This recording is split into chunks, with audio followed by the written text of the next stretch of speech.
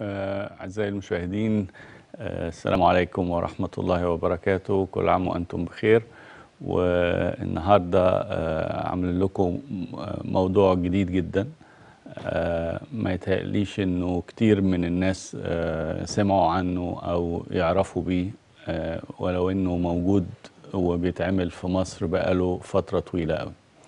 النهارده هنتكلم عن جراحات المخ بدون تخدير. يعني آه، بمعنى آخر إنه المريض أثناء الجراحة أو في جزء من الجراحة بيكون واعي وصاحي وبيتكلم مع آه، الدكتور اللي بيعمل له العملية والدكتور اللي بيساعده ودكتور التخدير ونقدر إن إحنا بالطريقة دي آه، نعرف وظائف المخ الحيوية مناطق الكلام مناطق الحركة بتاع الإيد بتاع الرجل بتاع الإحساس. كل المناطق الحيوية في المخ نبقى متأكدين إن هي آه، سليمة وما حصلش فيها أي مشكلة. وبنقدر نعرف الموضوع ده immediately أو في التو واللحظة أثناء ما إحنا بنعمل العملية. هي المشكلة كلها كانت إنه آه، جراحات المخ لما بتتعمل تحت تخدير كلي العيان بيبقى نايم. أنت بتحاول إن أنت تشيل مثلا ورم من المخ أو بتحاول إن أنت تقفل تمدد شرياني عمل نزيف في المخ أو بتحاول إن أنت تشيل وحمة شريانية من المخ آه، بدون ما تأثر أو تبوظ المناطق الطبيعية. اللي موجودة في المخ حوالين الورم أو حوالين الليجن اللي أنت بتحاول تشيله. فالفكرة كلها كانت إنك أنت تشيل هذا الورم بدون ما تأثر على المناطق الطبيعية اللي جنبيه اللي هي ممكن تكون منطقة الكلام ممكن تكون منطقة الحركة بتاع ال- الدراع بتاع القدم آه، منطقة الإحساس منطقة الوعي حاجات كتير جدا. من المراكز اللي موجودة آه، في المخ آه، بتبقى مسؤولة عن الوظائف الحيوية وظيفتك انت كجراح انك تحافظ عليها. لو العيان نايم تماما وتحت مخدر كلي ما بتبقاش قادر تعرف هل دي المنطقة اللي مسؤولة عن الحركة ولا لأ اللي جنب الورم. هل دي المنطقة المسؤولة عن الكلام ولا لأ؟ مفيش تيست تقدر تختبر بيه.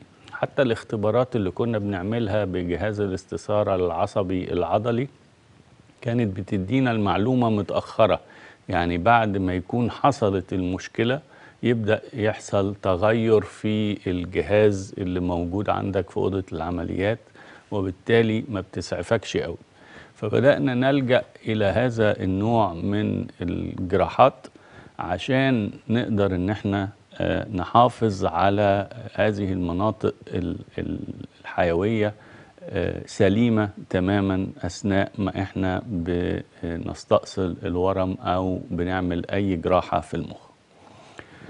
ولكن الموضوع مش بالبساطة دي لازم آه، يبقى في عندك آه، المريض متجاوب معاك فلازم تقعد مع المريض تفهمه إنه إحنا هن- هندي آه، بنج كلي في الأول لحد ما نعمل الفتحة بتاعتنا والحاجات اللي بيبقى على الشغل اللي على الجلد والعظم والجدار بتاع اللي حوالين المخ اللي هو بيحس بالألم. هنعمل الحاجات دي وإنت نايم تماما تحت بنج كلي مش هتحس بيها. وبعد كده هنبدأ نصحيك وهندي لك نوع من أنواع ال ال الأدوية والغازات اللي بتخليك ما تحسش بالألم خالص بس في نفس الوقت تبقى قادر تتكلم وتتواصل مع الأطباء أثناء العملية. فما تتخضش من الموضوع ده هو وإنت مش هتبقى حاسس بأي ألم لأن المخ ما بيحسش بالوجع. المخ نفسه وانت بتشتغل عليه ده ما بيحسش بألم والمريض هيبقى واخد أدوية تخليه آه، آه، هادي جدا وما عندوش أي إحساس بالوجع ولكن هو بس يبقى متعاون معاك إنه ما يحركش راسه إنه آه، يبقى منتبه للأسئلة اللي بتسألها له عشان يقدر يجاوب لك عليها. وإحنا كمان كجراحين برضو ما بنعتمدش على المريض 100% بيبقى عندنا وسائل أخرى نقدر إن إحنا بيها أثناء العملية والمريض صاحي إن إحنا ننبه آه، أجزاء من المخ ونشوف تأثيرها على المريض. فممكن أنبه منطقة الكلام ألاقي الكلام عنده بدأ يتغير. أنبه منطقة الحركة ألاقي إيده بتتحرك غصب عنه. ألاقي أنبه منطقة ال- الرجل ألاقي رجله بتتحرك غصب عنه. عشان برضو double check معاه أو إن أنا أأكد الكلام ده بعناية عن طريق إن أنا بعمل حاجة اسمها electrocorticography أو brain mapping اللي هو أعرف آه، أجيب جهاز يعمل استثارة لل- للخلايا بتاع المخ آه، ويبان على الجهاز اللي مو اللي بيبقى قاعد عليه دكتور الفسيولوجيا العصبية يقول لي أيوه دي فعلا ال- المنطقة المسؤولة عن الحركة. آه دي فعلا المنطقة المسؤولة عن الكلام دي المنطقة المسؤولة عن الإحساس. الحاجة التانية برضو المهمة في الموضوع ده إنه يبقى عندك تيم كامل متكامل من دكاترة التخدير عارفين الموضوع ده كويس ويقدروا يستخدموا إيه؟ وامتى يقلب المريض إلى بنج كلي وحاجات زي كده فلازم يبقى ال team بتاع التخدير متعاون معاك جدا عارف أدواته كويس آه قادر آه يستخدم ال- الأدوية المعينة دي اللي هي بنسميها ال propofol anesthesia بجرعات معروفة ومقدرة على حسب وزن المريض عشان المريض ما ينامش منك لأنه لو نام آه، وبدأ يدروخ يبقى أنت كده فقدت الاتصال مع المريض أثناء العملية. برضو التحضيرات بتبقى جزء كبير منها قبل العملية إن إحنا بنبدأ نعمل بقى حاجة اسمها آه، أشعة الجهاز الملاحي للمخ. بنعمل أشعة رنين مغناطيسي بمقاطع صغيرة جدا وبنركبها بحيث الوش يبقى باين ثلاثي الأبعاد في ال- الأشعة. ومراكز الأشعة اللي بتعمل النوع ده من أشعات الرنين المغناطيسي للجهاز الملاحي للمخ بتدينا السي دي اللي فيه صور الأشعة دي. آه، وإحنا أثناء الجراحة بندخلها في الجهاز الملاحي فبتظهر صورة الأشعة والأبعاد الثلاثية بتاعة آه، وش المريض على شاشة زي شاشة التلفزيون كده داخل حجرة العمليات.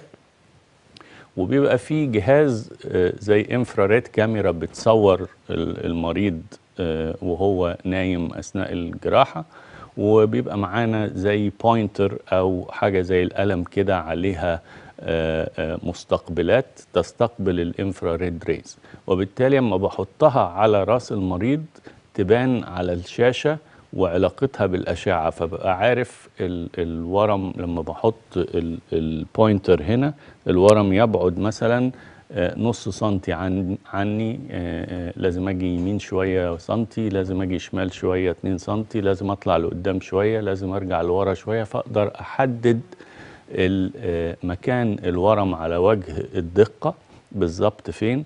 وأقدر كمان أحدد أقصر الطرق للوصول إلى هذا الورم بدون ما اعدي في آه، خلايا المخ الطبيعية اللي حواليه.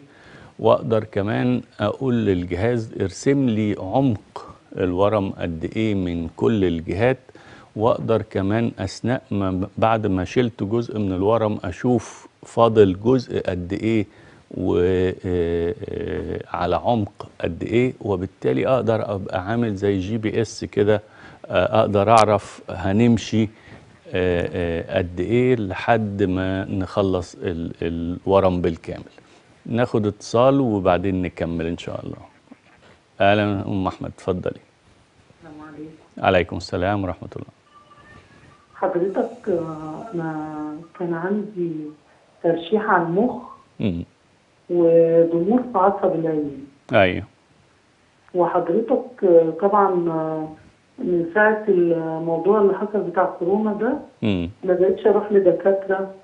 أيوه. وحضرتك آه، عندي برضو غضاريف وكده واختناق في الشرايين في إيديا. ما باخدش علاج دلوقتي موقفة كل ده وباخد. علاج تاني عشان خاطر عندي برضه شوية في القلب ومش عارف إيه. كده أوكي. يعني. تمام. فحضرتك أنا موقفة العلاج كله وما باخدش علاج دلوقتي. بس أنا مش قادرة أمشي على رجليا ولا مم. جسمي كله بينشر وتعبانة وحاسة إن نظري بيبتدي يقل كل مدى وكده. أوكي. هنرد على حضرتك. اتفضلي. الارتشاح بتاع ال- العصب البصري بيبقى سببه ارتفاع حميد في ضغط المخ. يعني آه، ضغط المخ آه، المخ بيبقى فيه مية. المية دي بت بت بتلف حوالين وداخل المخ عشان تشيل الفضلات اللي, مو اللي بتطلع آه، من المخ وتصرفها في الدم. نتيجة آه، انسداد أو آه، زيادة إفراز ال- آه، السائل النخاعي بيحصل ارتفاع في ضغط المخ. إنما النوع اللي عندك مش كده بقى مش نتيجة زيادة إفراز ولا انسداد ولا حاجة. النوع اللي عندك حاجة اسمها ارتفاع حميد في ضغط المخ يعني آه، آه، بتعاني من أعراض ارتفاع ضغط المخ من صداع وزغللة وممكن رؤية مزدوجة وضعف إبصار وممكن ضمور في عصب العين وممكن آه، ميل للقيء وممكن ترجيع بصفة آه، جامدة وحاجات زي كده كلها أعراض ارتفاع ضغط المخ نعمل الاشعاعات نلاقيها سليمة.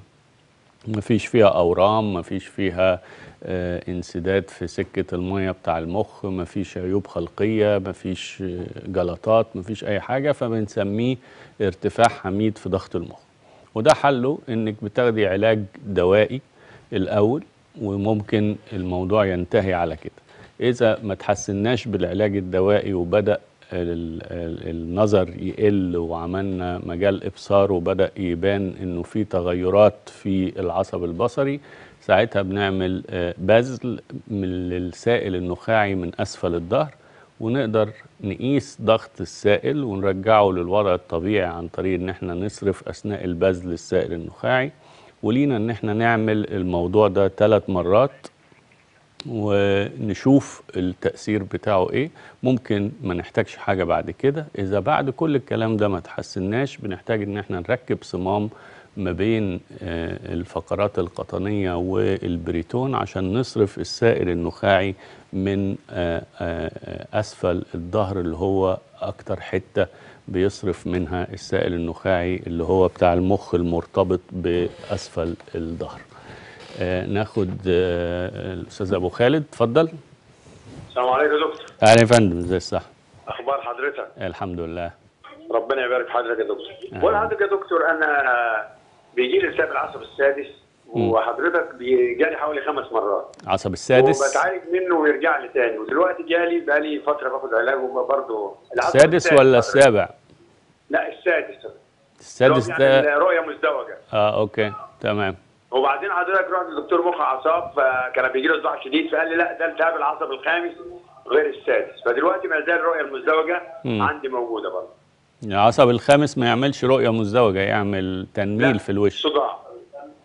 آه. آه. لا السادس حضرتك دلوقتي عندي رؤية مزدوجة دلوقتي. طيب وأنت عندك سكر أو ضغط؟ آه عندي سكر حضرتك. وسنك قد إيه؟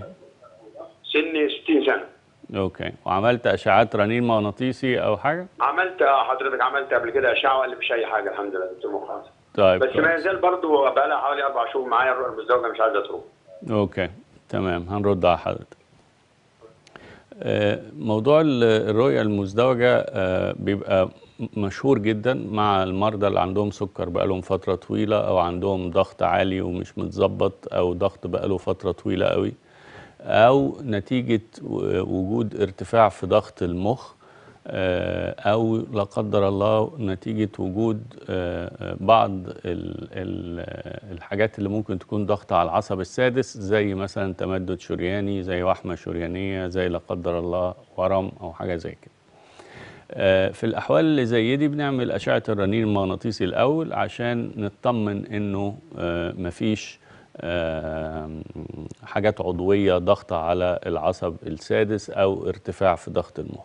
إذا طلعت الحاجات دي آه، سليمة وه- وكذلك الأشعة اللي على شرايين المخ طلعت كلها سليمة ومفيش تمدد شرياني ولا وحمة شريانية بنبدأ العلاج بتاعنا بادويه مع تظبيط آه، ضغط الدم مع تظبيط نسبة السكر وبندي كمية كبيرة من فيتامين بي 12 آه، آه، ويفضل عن طريق الحقن لفترة طويلة لأن ده غذاء العصب وفي الحالة دي بيحصل تحسن كويس في آه، الوظائف العصب السادس والرؤية المزدوجة بتتحسن جدا. وأحب أطمنه أنه ال- ال- أغلب المرضى بيرجعوا لوضعهم الطبيعي طالما ما فيش سبب عضوي في أشعة الرنين أو أشعة شرايين ال- المخ. طيب آه كنا بقى بنتكلم في حكاية جراحات المخ بدون آه تخدير وقلنا إنه آه لازم آه نفهم العيان كويس الوضع هيبقى إزاي أثناء الجراحة وتيم التخدير يبقى شكله آه آه إيه لازم يكون تيم مستعد وفاهم لأصول النوع ده من أنواع الجراحات على المخ وقلنا إن إحنا بنعمل استعداداتنا قبل الجراحة بنعمل حاجة اسمها أشعة الجهاز الملاحي للمخ وقلنا إزاي بنستخدمه وفايدة استخدامه أثناء العملية. النوع التاني من الأشعات اللي بنحتاج إن إحنا نعملها قبل العملية بنعمل حاجة اسمها تراكتورافي يعني بندخل المريض جهاز الرنين المغناطيسي عشان الجهاز يبدأ يرسم لنا ال ال ال آه، المناطق بتاعة المخ اللي جنب الورم ده. يعني مناطق ال tracts أو الأسلاك أو الوصلات العصبية اللي حوالين الورم. فلو الورم كده يقول لك ال tract ده مثلا مزقوق لجوه هنا يبقى أنت تبعد عن المنطقة دي. لا ده مزقوق لبره كده يبقى أنت تبعد عن المنطقة دي. ده موجود فوق وقدام يبقى انت مالكش دعوة بالحتة دي. لا ده مزقوق لورا وكذا يبقى انت تبدأ من قدام وتبعد عنه وهكذا. فالأشعة دي بتبقى مفيدة جدا إن هي تعرفك ال- الدنيا حوالين الورم أو حوالين الجزء اللي انت بتشتغل عليه الحتت المهمة في المخ اللي بتؤدي الوظائف الهامة من حركة وإحساس وكلام ووعي وكذا موجودة فين؟ فده آه، يعني نوع معين من الأشعاعات مهم جدا قبل هذه الجراحات. ناخد أستاذ أحمد آه، اتفضل وبعدين نكمل. ألو السلام عليكم. أهلا أستاذ أحمد اتفضل. إزي حضرتك؟ يا فندم الحمد لله. آه بعد إذن حضرتك يا فندم أنا دلوقتي عندي آه multiple sclerosis ال MS الالتهاب العصبي المتناثر ده عندي بقالي حوالي ما يقرب من آه، 16 أو 19 سنة. اي أنا سني حاليا آه، داخل في ال 31 آه، أنا أخدت كل الأدوية اللي هي بتاعت ال MS زي ما حضرتك عارف كان الأول كنا بنشتري إحنا الأدوية على حسابنا وكده. اللي هو كان كورتيزونات وكده وأول ما جه دخل تبع التأمين الصحي اللي هو الانترفيرون اللي هو ال Betaferon زي ما حضرتك عارف. اي آه، وبعد كده أنا حاليا ماشي على آه، ال MabThera اللي هو rituximab باخده في الكيماوي وكده آه، ولسه واخد ال- آه، كل ست شهور طبعا زي ما حضرتك عارف باخدها مم. آه، لكن موضوع زي ما حضرتك كنت لسه بتتكلم على إن هو ازدواج الرؤية و والأعراض اللي هي كانت المدام اللي لسه متكلمة آه،. من مكالمتين فاتوا. آه، الحاجات دي مجرد إن أنا بتأثر نفسيا يعني أنا متزوج ومخلف. آه، بس أي توتر زي ما حضرتك عارف بظروف الحياة وكده صحيح. آه، بيزيد قوي موضوع ال- اللي هو ازدواج الرؤية وبيلاحظوا ممكن اللي قصادي.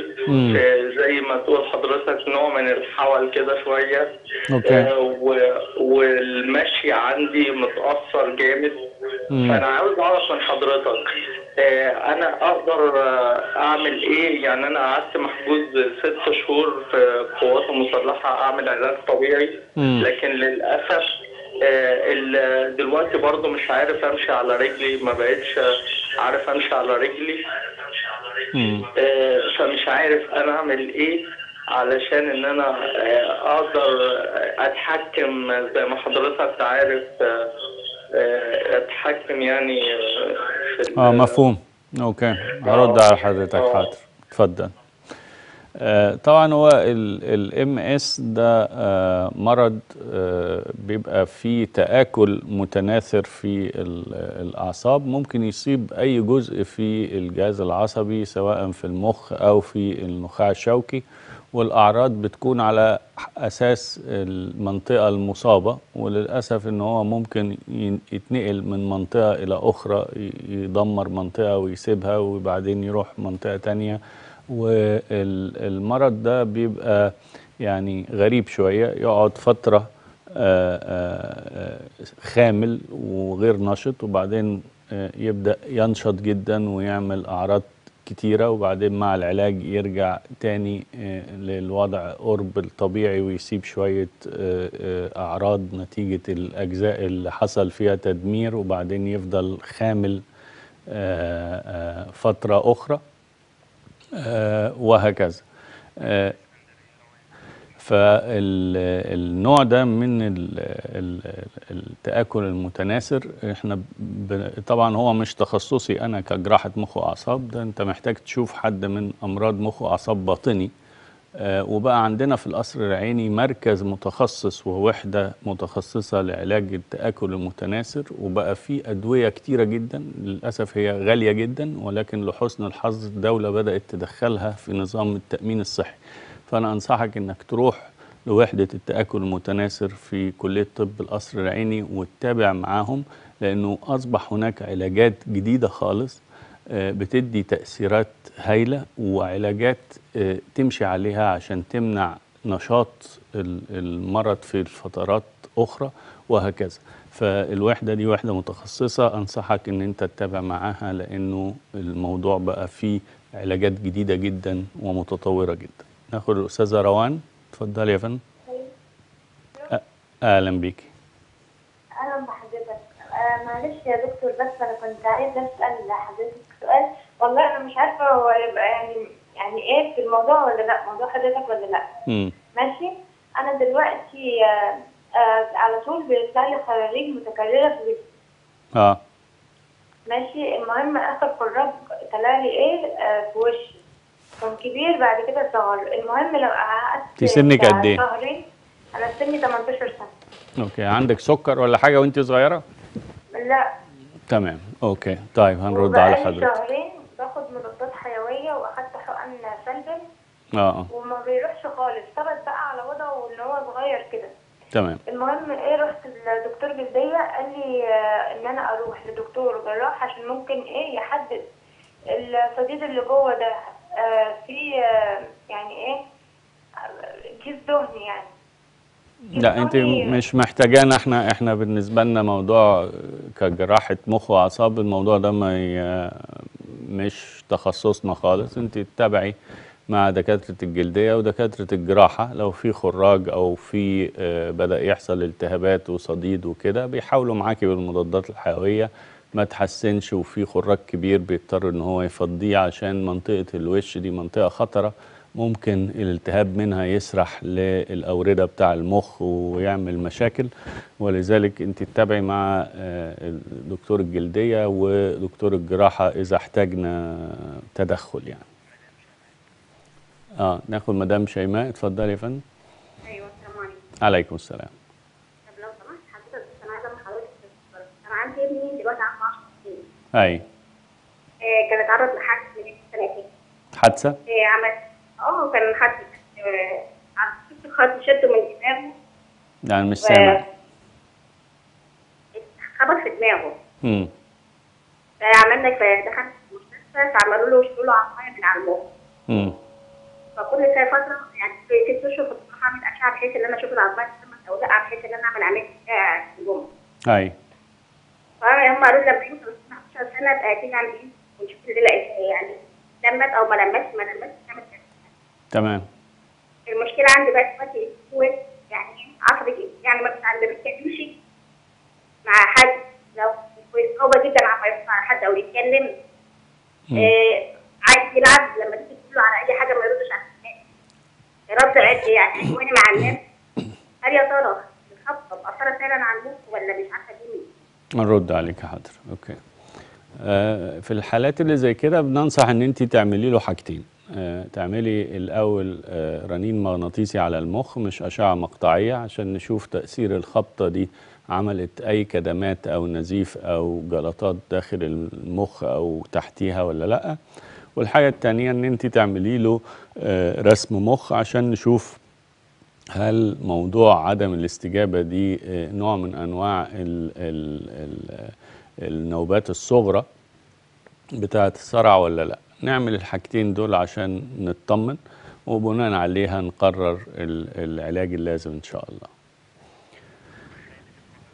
آه ناخد الأستاذ خالد من القاهرة اتفضل. أيوه يا فندم السلام عليكم دكتور. عليكم السلام ازي حضرتك يا. فندم؟ أهلا بيك زي الحال حضرتك عندي سؤالين بعد اذن حضرتك اتفضل آه نسمع عن كلمة ال- اللي هو الجهاز العصبي المركزي اللي هو central numerical system هل هو يا فندم جذع المخ وفين مكانه بالظبط؟ ده سؤال يا فندم. Okay. السؤال الثاني لا قدر الله في حاجة اسمها الموت الإكلينيكي. آه، أنا برضو عايز أفهمه إيه معناه. آه. ولو واحد لا قدر الله حصل له الموضوع ده هو حضراتكم كدكاترة. إيه المعطيات وإيه المؤشرات اللي تقولوا هو فعلا ميت كلينيكيا ولا لأ؟ Okay. آه، دول سؤالين يا فندم كتر خيرك. أهلا بيك. سلام أهلا عليكم. مع السلامة فندم. الجهاز العصبي المركزي اللي هو ال- يسموه ال central nervous system اللي هو الجزء من ال- المخ العميق وجذع المخ وأعلى منطقة النخاع الشوكي. ده اللي هو يسموه ال central nervous system أو الجزء ال center بتاع الجهاز ال- العصبي اللي هو بيبقى فيه بقى ال tracts أو ال- ال- الوصلات بتاع المخ بقى بعد ما ال ال الخلايا تتجمع وتدي ال- الأسلاك بتاعتها بتنزل في الجزء ده من حتة اسمها ال internal capsule وبعد كده تنزل على جذع المخ وبعد كده تنزل على النخاع الشوكي وبعدين يبدأ بقى الأعصاب تطلع عشان تحرك الإيدين والرجلين ويبقى في دي مراكز الإحساس والحركة والكلام والوعي وهكذا. آه، موضوع الموت ال- الإكلينيكي هو إنه آه، بيبقى ال- الإنسان مثلا بعد حادثة جامدة أو حاجة زي كده بيبقى فاقد الوعي تماما. ومعتمد على آه، جهاز التنفس الصناعي عشان يديله أكسجين عشان يمنتين المخ عايش وي- ويخلي البني آدم ضغط الدم بتاعه مظبوط. وأحيانا بيعتمدوا على بعض الأدوية عشان نرفع بيها ضغط الدم. بيبقى المريض في الحالة دي في غيبوبة كاملة. يعني إحنا بندي درجة وعي من 15 أقل حاجة 3 من 15 وأكتر حاجة 15 من 15 اللي هو واحد طبيعي بيكلمك وتكلمه. المريض ده بيبقى واخد 3 من 15 آه بنبدأ بقى في الحالة دي نفحص وظائف جذع المخ. فنلاقي إن وظائف جذع المخ كلها مش موجودة. فوظائف جذع المخ دي بتشمل حاجات كتيرة جدا منها التنفس منها اتساع حدقتين العين منها الاستجابة للضوء منها الاستجابة للمس ال- الملتحمة آه، منها غازات الدم منها ال- الحركة مع مع مؤثرات مؤلمة وهكذا. وبنخلي آه، آه، آه، اتنين من تخصصين مختلفين يفحصوا العيان كل واحد لوحده ويدي كل واحد تقريره لوحده. واحد من أساتذة التخدير والرعاية المركزة وواحد من أساتذة المخ والأعصاب. إذا الاتنين اتفقوا آه، وظائف جذع المخ وقفت معناها إنه مفيش أمل إنه الإنسان ده يعيش بدون أجهزة تنفس صناعي. وبدون أدوية ترفع ضغط الدم. في الحالة دي بنقول عليه إنه ميت اكلينيكيا. يعني آه، آه، ما شفناش ولا حالة من دول في العالم على مدى سنين الطب الطويلة آه، ما شفناش ولا حالة من دول على مدى سنين الطب الطويلة رجعت تاني للحياة. ففي الحالة دي كنا في إنجلترا وأمريكا بنبدأ نكلم أهل المريض ونقول لهم لو هو موصي بالتبرع بأعضائه هي دي ال stage أو المرحلة اللي ممكن آه، يتبرع فيها المريض بأعضائه وهو على جهاز التنفس الصناعي وضغطه مظبوط وحاجات زي كده. آه، ناخد آه، مكالمة أخرى اتفضلي. اتفضل. Okay. طيب. فكنا بنتكلم بقى معاكم على حكاية جراحات المخ بدون التخدير وقلنا الحاجات اللي بنعملها استعدادا لهذا النوع من الجراحة ويبقى معانا دكاترة الاستثارة العصبية عشان نقدر نعمل حاجة اسمها brain mapping ونشوف ال- المناطق الحيوية بتاع المخ حوالين الورم وكتير قوي بنستخدمها في حالات تانية. يعني الكلام ده للدكاترة أكتر. آه، في حالات مثلا تمدد شرياني في المخ أحيانا الشريان ي- ي- ي rupture أو يحصل نزيف أثناء العملية فتضطر تقفل الشريان الأساسي اللي داخل عشان تقدر تحط ال clips بتاعك عشان تمنع ال- النزيف. فوانت قافل الشريان ده عايز تعرف هو مأثر على المريض ولا لأ فلو أنت المريض صاحي وبيتكلم معاك تقدر تعرف حصل عنده مشكلة في الكلام في الحركة ولا لأ. كذلك في الوحمة الشريانية أنت عايز تشيل ال- الشريان اللي داخل على الوحمة وتسيب الشريان اللي رايح للمخ السليم. فتروح حاطط كليبسات على الحتت اللي انت شاكك فيها وتشوف المريض اتأثر ولا لا. لو ما اتأثرش يبقى هو ده اللي داخل للوحمة. لو اتأثر يبقى مالكش دعوة بيه ولازم تحافظ عليه. كذلك في أثناء ما بتعمل حاجة اسمها bypass إنك توصل شريان بشريان. في الحالة دي بتقفل الشريان لحد ما توصله. فأنت عايز تعرف يعني أنت لما بتقفله 20 دقيقة أو 30 دقيقة بتبقى عايز تعرف هل حصل تأثر في العيان الكلام اتأثر الحركة اتأثرت الإحساس الكلام ده كله هل كده ممكن يدخل في جلطة لو طولت عن كده ولا لأ؟ فوأنت مصحي العيان تقدر تعرف بالظبط هو اتأثر ولا لأ والكمية ال- القفل دي أو الوقت اللي أنت قافل فيه زيادة ولا أقل والعيان كويس ولا لأ. وبنغير كتير قوي طريقة ال- العملية بناء على آه، إذا كان العيان اتأثر ولا ما اتأثرش. كذلك في الأورام الأورام بتاع المخ لما بتبقى موجودة عايز تشيل الورم بدون ما تأثر على المناطق الحيوية اللي جنبيه ففي الحالة دي بتدخل بكل الأجهزة اللي معاك دي جهاز الملاحي وجهاز تفتيت الورم وجهاز الاستثارة العصبي العضلي والمنظار والميكروسكوب وال brain mapping وإنك تبقى مصحي المريض أثناء العملية. فتقدر تحافظ على المناطق الحيوية من غير ما آه، آه، آه، تأثر عليها وتشيل الورم كامل من غير ما تسيب منه أجزاء. إحنا أحيانا كتير نعمل حاجة اسمها functional MR قبل العملية عشان نشوف مناطق ال- الحركة دي وال- آه، والكلام قبل العملية تبقى مرسومة وعلاقتها بمكان الورم وبنستخدم كل آه، ال tools اللي اللي في إيدينا دي عشان نخرج آه، بالمريض لبر الأمان ونقدر إن إحنا نعمل استئصال بشكل كامل للورم بدون ما نأثر على المناطق ال- الحيوية اللي حواليه. آه، دي كانت آه، الجراحات اللي بدون تخدير والمريض صاحي في جزء من العملية. أهلا أم أحمد اتفضلي. السلام عليكم. عليكم السلام ورحمة الله.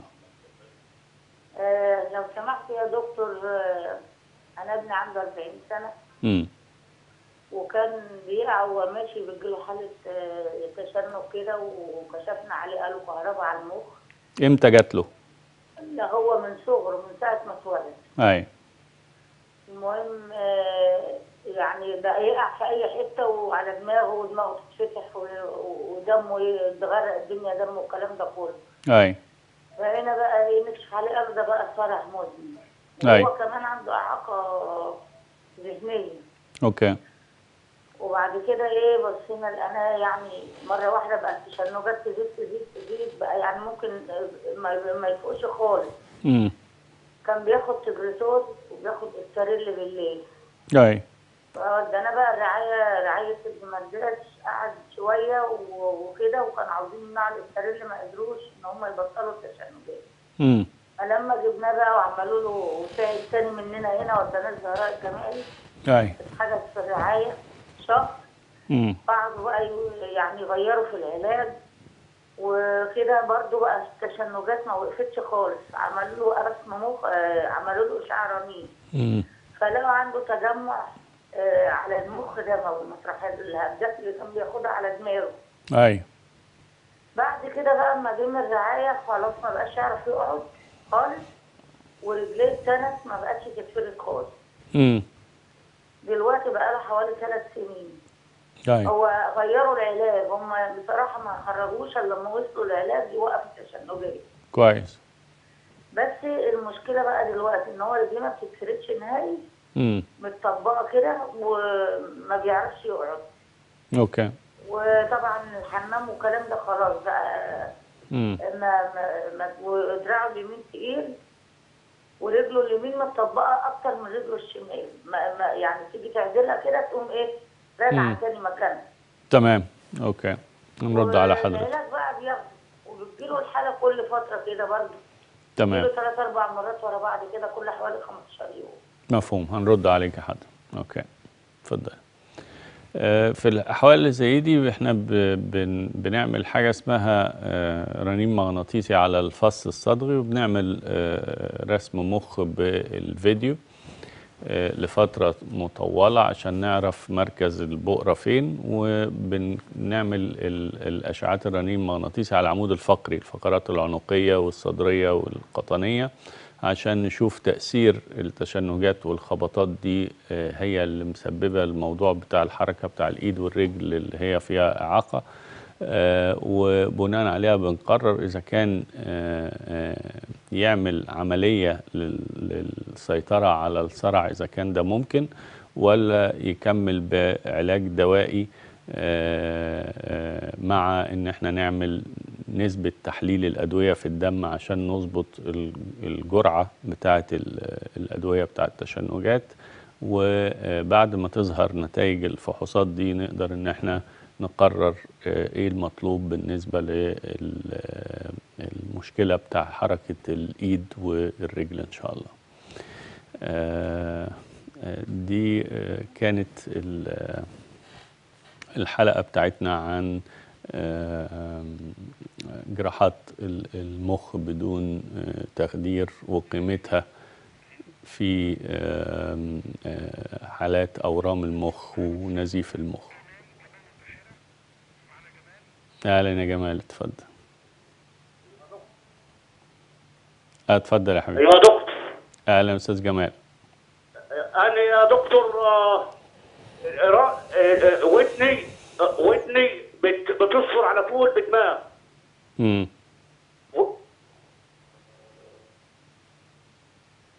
أني ودني فيهم يا جمال.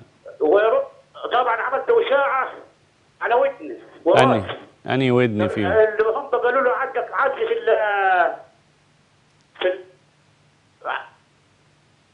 صوتك بيقطع خالص في في, في ال- هو مش عايز اللي عزل في في في ودنك يا دكتور والصفرة دي على طول. آه. في اني ودن في ودن واحدة ولا في الاتنين؟ ودن ال- اليمين يا دكتور. تمام. وبقالك قد إيه كده؟ لا في ودن واحدة بس يا دكتور. بقالك فترة قد إيه؟ بقالي أربع ثلاث سنين. تمام. وانت بتتعالج من ضغط أو سكر؟ سنين يا دكتور بتتعالج من ضغط أو سكر يا جمال؟ لا ما عندي لا ما عنديش لا ضغط ولا سكر يا دكتور. طيب كويس. ما عنديش يا دكتور. طب هايل. في دوخة ما أو ترجيع؟ سكر. عندك دوخة أو قيء؟ ترجيع؟ آه أيوه في دوخة يا دكتور. بترجع لا دوخه دوخه بس يا دكتور طيب والمشي كويس ولا في عدم اتزان في المشي؟ ودي عندي 65 سنة. كويس. وتمشي كويس ولا في عدم اتزان أثناء المشي؟ لا يعني مثلا رجلي بتقص رجلي بتوجعني كده يعني يعني المشي بقى. يعني تمشي موزون كويس ولا تمشي تقع على ناحية؟ أستاذ جمال. لا بنمشي بنمشي كويس موزون. تمشي كويس. طيب. وفي إفرازات أو صديد بينزل من ودنك؟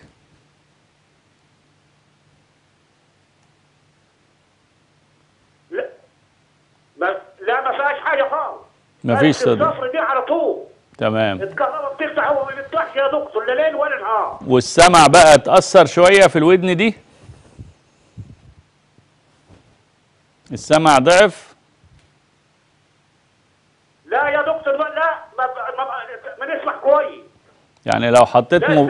لو حطيت موبايل على الودن اليمين تسمع بيه زي الشمال؟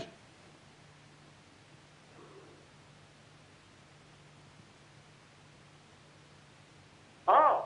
طيب كويس. ماشي يا عم جمال هنرد عليك. اتفضل.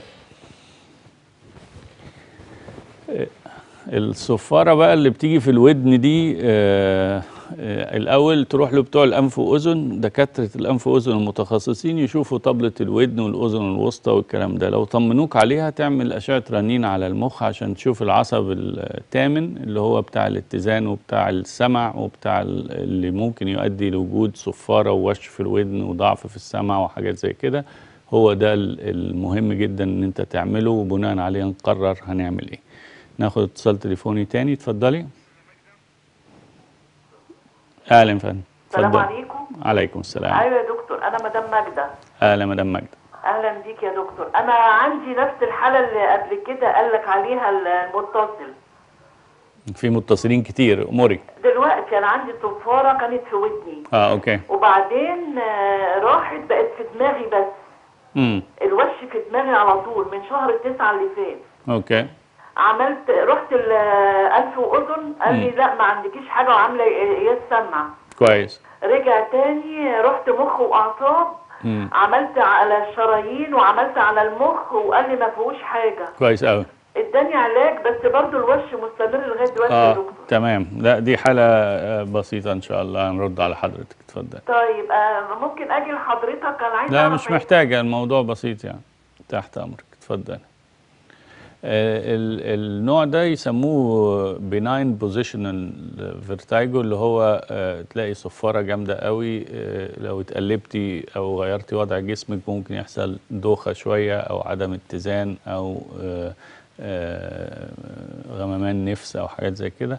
الحالة دي علاجها آه، علاجات دوائية بس أهم حاجة إن أنت تزودي كمية السوائل في الجسم. يعني محتاجة على الأقل آه، من أربعة لخمسة لتر سوائل ما بين ميات وعصاير وشوربة وشاي وحاجات زي كده زائد إنك تزودي شوية نسبة الملح في الأكل لأنه سبب المرض ده إنه العصب الثامن اللي هو بتاع الاتزان بيبقى فيه حواليه مية ده الطبيعي وعلى حسب كمية المية دي بيبدأ يتنبه العصب. الموضوع بتاعك بيبقى سببه إن المية اللي حوالين العصب دي بتبقى قليلة فيبدأ كأنه بيلف فيحاول إن هو آه، آه، بيتخيل إنه في حاجة بتلف بيكي فبيحاول يرجعك تاني فيحصل لك موضوع الدوخة ده. فحله إنك تزودي كمية السائل مرة أخرى بإن أنت تاخدي كمية سوائل كبيرة قوي وتاخدي كمية ملح شوية تزوديها في الأكل أو ترشي أو الحاجات اللي هي المملحة شوية عشان نجمع المية مرة تانية حوالين العصب فيرجع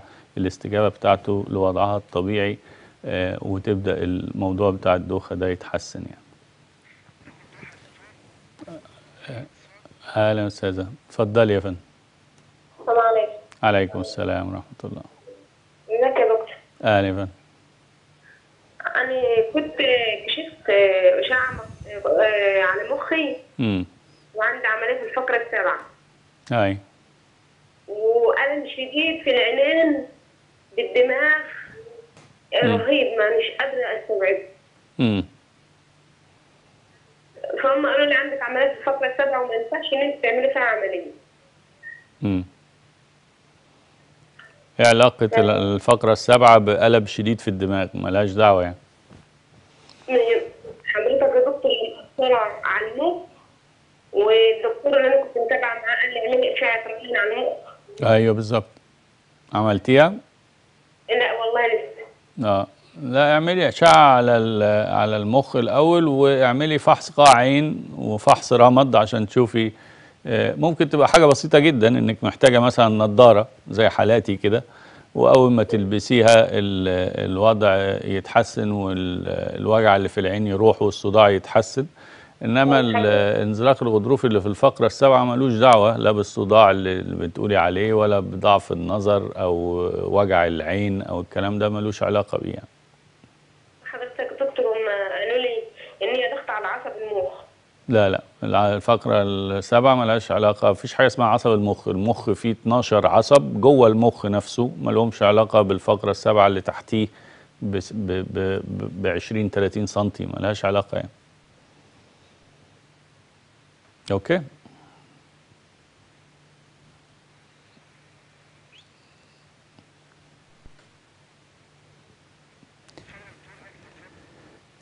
آه، ف يعني ملوش علاقة آه، سعادتك موضوع العصب ده ملوش دعوة بالأعراض اللي انت بتقوليها وننصحك إن انت تعملي أشعة آه، رنين على المخ وفحص قاع عين وفحص مع دكاترة الرمد عشان يشوفوا آه، إذا كان في قصر نظر أو إذا كان في رشح في آه، قاع العين. أحيانا الأشعة تطلع سليمة وما فيهاش حاجة بس فحص القاع العين هو اللي يقول إنه في رشح في قاع العين ودي بتبقى آه، تشخيص للحالة إن فيها ارتفاع حميد في ضغط المخ.